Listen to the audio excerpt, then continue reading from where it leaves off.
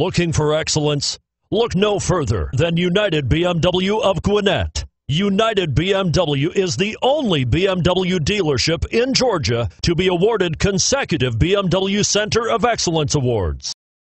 The 2011 1 Series. Even though the BMW 1 Series is the company's least expensive model, it is hardly an underperforming model and is priced below $30,000. This vehicle has less than 30,000 miles. Here are some of this vehicle's great options. Stability control, traction control, anti-lock braking system, steering wheel, audio controls, driver airbag, power steering, adjustable steering wheel, cruise control, four-wheel disc brakes, aluminum wheels. This beauty is sure to make you the talk of the neighborhood.